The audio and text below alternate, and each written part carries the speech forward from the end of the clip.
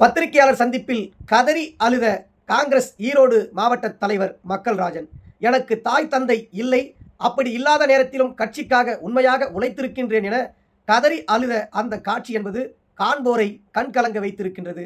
காங்கிரஸ் பேரியக்கத்தை வளர்த்துறதுக்கு நான் நிறைய இழந்திருக்கேன். கொஞ்சம் நஞ்செல்லாம் நான் இழந்ததெல்லாம் இல்லை நிறைய இழந்திருக்கேன். எனக்கு ஃபாதர் மதர் ரெண்டு பேருமே கிடையாது.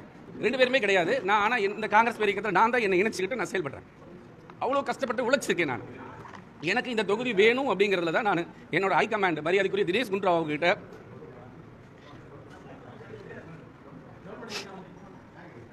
சாரி இப்படிப்பட்ட சூழ்நிலையில் காங்கிரஸ் கட்சியின் தலைமையின் முடிவு என்னவாக இருக்கப் போகின்றது? ஈரோடு கிழக்கு சட்டமன்ற இடைத்தேர்தலில் வேட்பாளர் யார்? காங்கிரஸ் கட்சியின் மூத்த தலைவர்களில் ஒருவரும் முன்னாள் மத்திய அமைச்சருமான இவி கே எஸ் இளங்கோவன் குடும்பத்தை சார்ந்த ஒருவருக்கு சீட் வழங்கப்படுமா? அல்லது கட்சிக்காக உழைத்த இளைஞராக ஈரோடு மாவட்ட தலைவராக சிறப்பாக பணியாற்றி கொண்டிருக்கின்ற மக்கள் ராஜன் அவர்களுக்கு சீட் வழங்கப் போகின்றதா காங்கிரஸ் தலைமை? சிஆர்எச் தமிழ் மீடியா நேயர்கள் அனைவருக்கும் அன்பு வணக்கம்.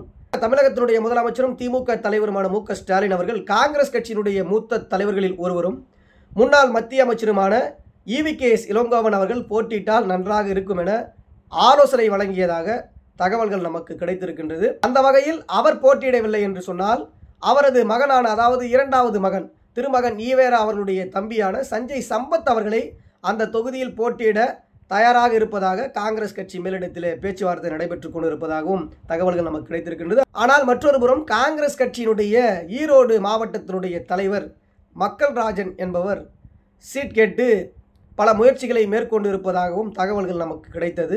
அதன் அடிப்படையில் திடீரென சில நிமிடங்களுக்கு முன்பு பத்திரிகையாளர் சந்திப்பை நான் பார்த்தேன். அது யாருடைய பத்திரிகையாளர் சந்திப்பு தெரியுமா? காங்கிரஸ் கட்சியினுடைய ஈரோடு மாவட்ட தலைவர் மக்கள் ராஜன் அவர் பேசிய அந்த பத்திரிகையாளர் சந்திப்பு தான். உள்ளபடியே அவர் பேசிய அந்த பேச்சில் அவருக்கான உரிமையை கட்சியில் உழைத்த அந்த உழைப்பை சுட்டிக்காட்டி அவர் எனக்கு சீட் வழங்க வேண்டும் அந்த சீட் கேட்பதற்கு எனக்கு எல்லா உரிமைகளும் இருக்கின்றது. நான் கட்சிக்காக உழைத்திருக்கின்றேன். ஈரோடு கிழக்கு சட்டமன்றத்தில் இடைத்தேர்தல் அறிவிக்கப்பட்டிருக்கு. அது எங்களுடைய சட்டமன்ற உறுப்பினர் மரியாதைக்குரிய திருமகன் நீவேரா அவர்கள் எதிர்பாராத விதமாக இருந்தார். அது வருந்தத்தக்கது. உண்மையால் என்னுடைய ஆழ்ந்த இரங்கல். மிகவும் சிறப்பாக செயல்பட்டார். அது எந்த விதமான மாற்று கருத்தும் இல்லை. அந்த தொகுதியில் எல்லாரும் போட்டியிடணும் அப்படின்ற எண்ணங்கள் இருக்கும். இருந்தாலும் நான் என்னை பொறுத்த வரைக்கும் அந்த தொகுதியில் போட்டியிடணும்னு ரொம்ப விருப்பமாக இருக்கேன். கட்டாயமாக அந்த தொகுதி எனக்கு வேணும்னு நான் கேட்டிருக்கேன் மேலிடத்தில். ஏன்னா எனக்கு அந்த கட்டாயமாக வார்த்தை வேணும்னு கேட்கறதுக்கு காரணம் எனக்கு உரிமை இருக்குது காங்கிரஸ் பேரியக்கத்தை வளர்த்துறதுக்கு நான் நிறைய இழந்திருக்கேன். கொஞ்சம் நஞ்செல்லாம் நான் இழந்ததெல்லாம் இல்லை நிறைய இழந்திருக்கேன். என்னோடய என்னோட வேலையை கட்சிக்காக பாடுபட்டதை யாரும் மறுக்க முடியாது. இவர் கட்சிக்கு வேலை செய்யலை கட்சிக்காரர் இல்லை உறுப்பினர் இல்லைன்னு யாரும் என்னை சொல்லிட முடியாது. காங்கிரஸ் பேரியக்கத்தை ஈரோடு மாவட்டத்தில் வளர்த்தெடுக்கிறதுக்காக நான் நிறைய இயந்திருக்கேன். சொல்ல முடியாத செயல்பாடுகளை அங்கே நான் செஞ்சுருக்கேன்.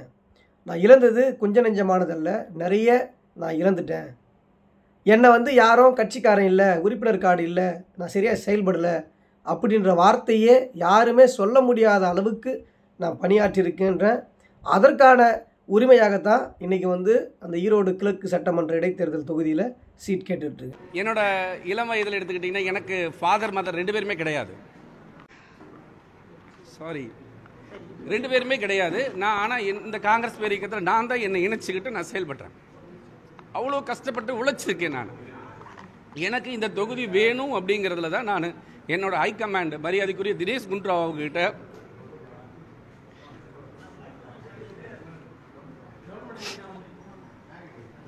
சாரி தினேஷ் குண்ட்ராவ்ஜி அவர்கிட்ட நான் என்னோட ரிக்வஸ்ட்டை கொடுத்துருக்கேன்.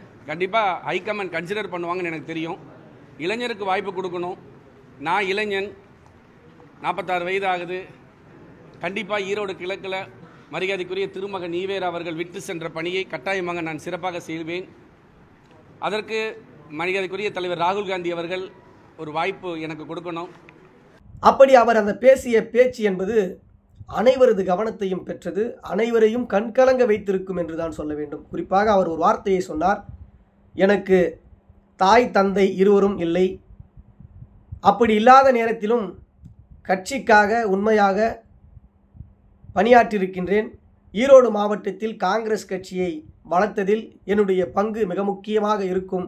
குறிப்பாக ஆயிரத்தி தொள்ளாயிரத்தி தொண்ணூற்றி மூணாம் ஆண்டு தமிழ்நாடு காங்கிரஸ் மாணவர் இயக்கத்தினுடைய வட்டார தலைவராகவும் பின்பு தமிழ்நாடு காங்கிரஸ் பேரியக்கத்தினுடைய விவசாய பிரிவில் மாநில பொதுச் செயலாளராகவும் இருந்து தற்போது கட்சி என்னுடைய உழைப்பிற்கு கொடுக்கும் அங்கீகாரமாக ஈரோடு மாவட்டத்தினுடைய தலைவராக எனக்கு பதவி வழங்கி இந்த ஐந்து ஆண்டுகள் மிக சிறப்பாக கட்சி பணியை ஆற்றி வருகின்றேன்.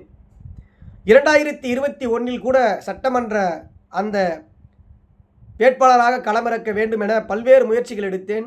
அந்த நேரத்தில் எனக்கு சீட் மறுக்கப்பட்டது. ஆனால் அப்போது சீட்டை பெற்றுக்கொண்டு போட்டியிட்டு வெற்றி பெற்ற திருமகன் ஈவேரா அவர்கள் மிக சிறப்பாக மக்கள் பணியாற்றினார். அதில் எந்த எனக்கு மாற்று கருத்தும் இல்லை. சிறப்பாக பணியாற்றினார். திடீரென மாரடைப்பால் அவர் மரணமடைந்தார். மிகவும் வருத்தமான செய்தியாக இருந்தது.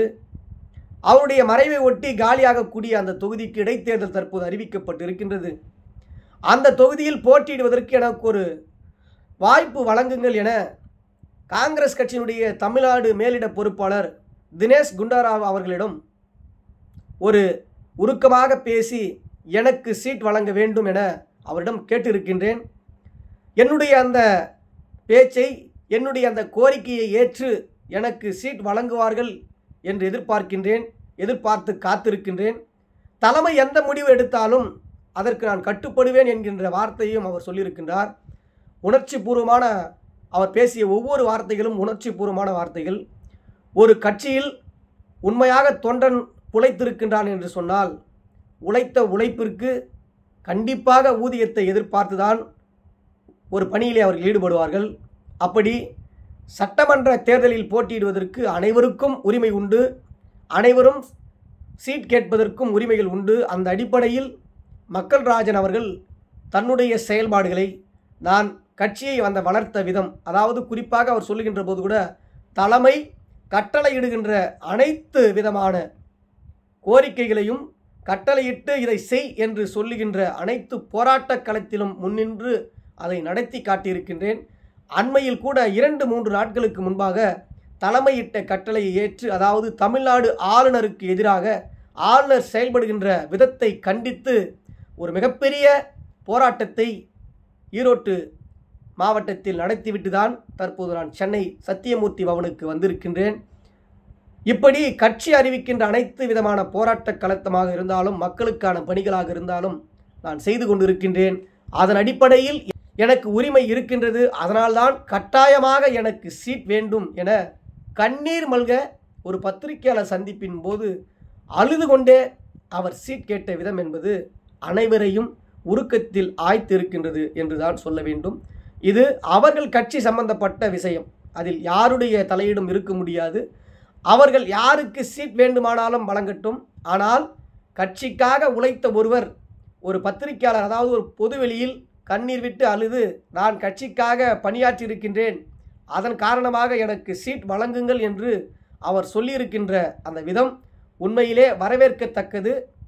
ஏற்புடையதுதான். கட்சி பரிசீலனை செய்து யாருக்கு சீட் வழங்கினாலும் அது அவர்கள் கட்சி சம்பந்தப்பட்ட விஷயமாகவே பார்க்கப்படும். என்னுடைய இந்த பதிவினுடைய நோக்கம் என்னவென்று சொன்னால் நான் அந்த பத்திரிகையாளர் சந்திப்பை பார்க்கும்போது உண்மையிலே நான் கண்கலங்கி போனேன். ஏன் என்று சொன்னால் உழைக்கின்ற அந்த உழைப்பிற்கு ஒரு கட்சி அங்கீகாரம் கொடுக்க வேண்டும். எனக்கு கட்டாயம் சீட் கொடுங்கள். நான் கட்டாயமாக சீட் கேட்கின்றேன் என்று சொன்னால் அதற்கு எனக்கு முழுமையான உரிமை உண்டு. அந்த அளவிற்கு நான் கட்சியில் பணியாற்றி இருக்கின்றேன் அதன் காரணமாக தான் இந்த சீட்டை கேட்கின்றேன் என்று சொல்லியிருக்கின்றார். நல்ல முடிவை காங்கிரஸ் கட்சியினுடைய இளம் தலைவர் ராகுல் காந்தி எடுப்பார். தமிழ்நாட்டினுடைய மேலிட பொறுப்பாளர் காங்கிரசினுடைய மேலிட பொறுப்பாளர் தினேஷ் குண்டாரா அவர்களிடமும் தெரிவித்திருக்கின்றேன். அதன் அடிப்படையிலும் அவர்கள் ஆலோசிப்பதாக சொல்லியிருக்கின்றார்கள். எந்த முடிவு என இன்னும் இரு நாட்களில் எடுத்து விடுவார்கள். குறிப்பாக நாம் ஏற்கனவே ஒரு பதிவு ஒன்றை போட்டிருந்தோம். அதில் வந்து மரணமடைந்த திருமகன் ஈவேரா அவர்களுடைய தம்பிக்கு சீட் வழங்கப்பட காங்கிரஸ் கட்சி மேலிடம் ஆலோசித்து வருவதாக நம்மோட பதிவு ஒன்று போட்டிருந்தோம். இப்போ இந்த பதிவில் என்னடா திடீர்னு இவனுக்கு பதிவில் சொல்கிறாங்கல்ல அவர் பேசிய அந்த வார்த்தைகள் சரியாக இருந்தது. கட்சிக்காக உழைத்த ஒருவர் எனக்கு இந்த தொகுதிக்கு சீட் கொடுத்தால் நன்றாக இருக்கும் என்பது ஒரு சீட்டை கேட்பது என்பதற்கு அனைவருக்கும் உரிமை உண்டு. அது யாரும் மறுக்க முடியாது மறைக்கவும் முடியாது. சீட் கேட்பதற்கு அனைவருக்கும் உரிமை உண்டு. அந்த கட்சி எடுக்கின்ற முடிவுக்கு அனைவரும் கட்டுப்பட வேண்டும். அதனால்தான் தற்போது இந்த பதிவு. அவர் பேசிய அந்த பேச்சு உருக்கமாக இருந்தது. உண்மையை வெளிப்படுத்தினார்.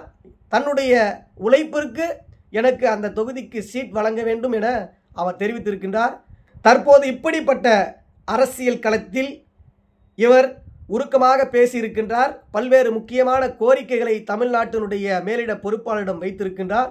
காங்கிரஸ் தலைமையிடமும் அவர் பேசியிருப்பார். தற்போது காங்கிரஸ் கட்சி யாருக்கு சீட் வழங்கப் போகின்றது? திருமகன் ஈவேரா அவர்களுடைய தம்பி சஞ்சய் சம்பத் அல்லது அவரது தந்தையான ஈவி கே எஸ் இளங்கோவன் கட்சியினுடைய மூத்த தலைவர்களில் ஒருவர் முன்னாள் மத்திய அமைச்சர். அவர்கள் குடும்பத்தை சார்ந்த ஒருவருக்கு ஈரோடு கிழக்கு சட்டமன்ற தொகுதியினுடைய வேட்பாளராக அறிவிக்கப் போகின்றதா? அல்லது காங்கிரஸ் கட்சியினுடைய ஈரோடு மாவட்ட தலைவர் மக்கள் ராஜன் அவர்களுடைய உழைப்பை பார்த்து அதாவது இளம் வயதில் அதாவது நாற்பத்தாறு வயது என அவருடைய பத்திரிகையாளர் சந்திப்பில் குறிப்பிட்டு பேசியிருந்தார். இப்படி ஒரு இளைஞருக்கு வாய்ப்பு கொடுக்க போகின்றதா? காங்கிரஸ் கட்சியினுடைய தலைமை என்பதை நாம் பொறுத்திருந்து பார்க்கலாம். விரைவில் அதற்கான அறிவிப்பை காங்கிரஸ் தலைமை வெளியிடும். அப்போதும் நம்முடைய சேனலில் இதேபோல் ஒரு பதிவொன்றை பதிவிடுவோம். அதுவரை காத்திருக்கலாம். நன்றி. வணக்கம்.